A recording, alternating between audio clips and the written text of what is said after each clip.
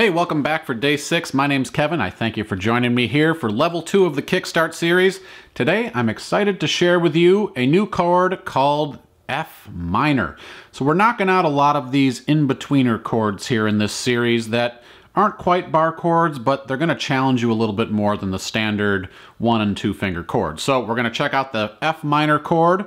We're gonna keep with that same strumming pattern from yesterday, and we're gonna do some more playing together but we're going to kind of extend things out a little bit more today, so a little bit more endurance required for these chord progressions, and we're just going to have a lot of fun playing the uke together. So get tuned up and let's get to it. Hey, before we get started, do me a little favor and make sure you click that alert bell so you know when the videos are coming your way. And if you're not subscribed to the channel, what are you doing? Come on, join us here. It's a lot of fun.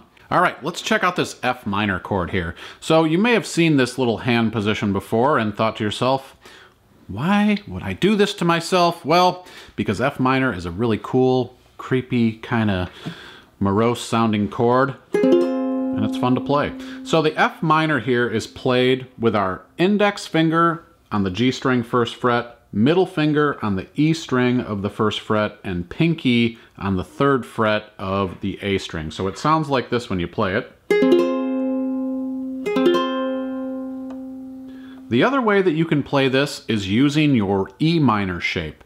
So typically we play our E minor chord right here, the little staircase, second, third, and fourth fret, and looks like this. So if we took this E minor shape and shifted it to the third, fourth, and fifth fret because we go from E, we move to the F chord if we go up a half step or one fret.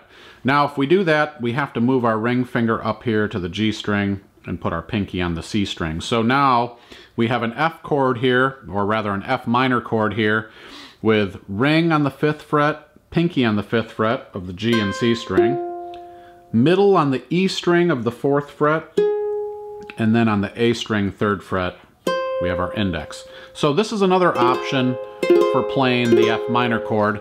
So maybe there's a situation where the chord progression is taking place up here, this might be an easier way to access your F minor chord rather than going down here. So again, as I always tell you, chords are situational. If you can find a shape that works better in a certain progression, you should kind of always err on the side of going with that one. So now that we've checked out the F minor chord, let's put this into a chord progression and start working on it. Today, as we kind of get a little later into the series, I thought it'd be a little bit more of an endurance test if we extend out this chord progression a little bit more, keeping with the same strumming pattern, but now we're going to kind of test ourselves to see if we can kind of keep going with this strumming pattern and stay in time and really work through this, just like you would do if you were playing a song.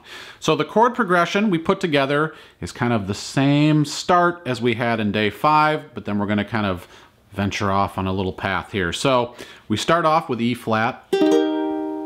We move to G minor. We move to that sweet C minor chord. Then we switch over to F minor. Come back to the C minor. Go back to the F minor. And then we end with a G major. Ooh, you're gonna love this chord progression, I promise. So before we get started with that though, we're gonna kind of work on going back and forth between C minor and F minor. And the reason I chose this is because it's a common move that you're gonna see if you're gonna play an F minor chord. There's a lot of times C minor kind of falls into that chord progression as does E flat or G minor. So I thought it'd be a good idea to kind of hash this out before we kind of get the full progression going here. So what we're gonna do is, we're not gonna do the single strum we're to do the same strumming pattern we did in day five, which is down, down, up, down, up. So again, this is to be in three, four times. So we'll count this, and I'm just to hold a C minor chord as I do this here. We'll go one, two, and three, and heavy on the first strum. One, two, and three, and. So let's practice this. We're to go from C minor to F minor. Now, the map to get there. We play our C minor here with middle, ring, and pinky on the third fret of the C, E, and A string. And to move over to our F minor chord, I'm going to take my pinky and just keep that locked down here on the A string of the third fret. And then with my index and middle finger, I'm going to move over here to my F minor. So watch that switch again nice and slow. So the key is keeping your pinky compressed here on the string the entire time. You don't need any extra movement to make that switch. You're always trying to find those common fingers in between chords where you don't have to lift them because the path of least resistance. So let's try this. We'll strum nice and slow. We'll do the pattern twice per chord, going back and forth between C minor and F minor. If you want to try the C minor with a bar, you're welcome to do that. You can try the index finger, or you could do the, or sorry, the ring finger or the index finger, whichever you choose, but I think it's easier with the three finger version of C minor. So here we go, starting on C minor. I'll count us in with a three count. One, two, three. One,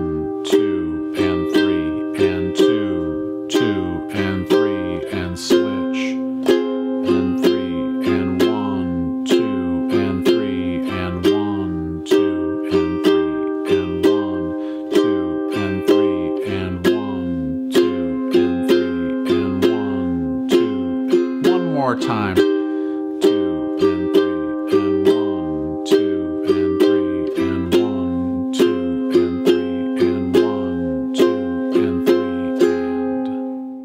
All right, so let's put this F minor into practice now. So we're gonna go through the chord progression.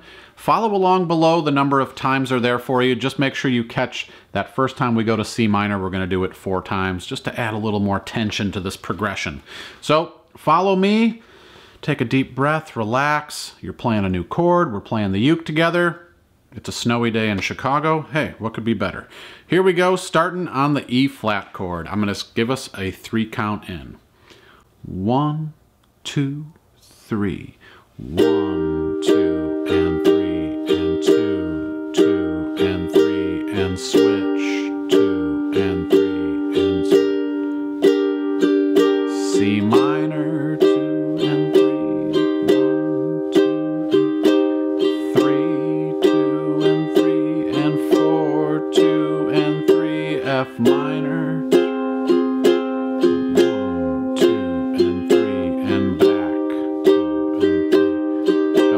to F minor. One, two, and three. And here comes the G. One, two, and three, and two, two, and three, and. All right, it's time for our friend the metronome to join us here. So we're going to do this at 90 beats per minute. We're going to go through the progression two times. So just relax, have some fun with this. Again, listen for the metronome, but don't focus on it too much. Just kind of play along with me. Let yourself kind of uh, get in the zone here. So here we go with a three count in. One, two, three, one,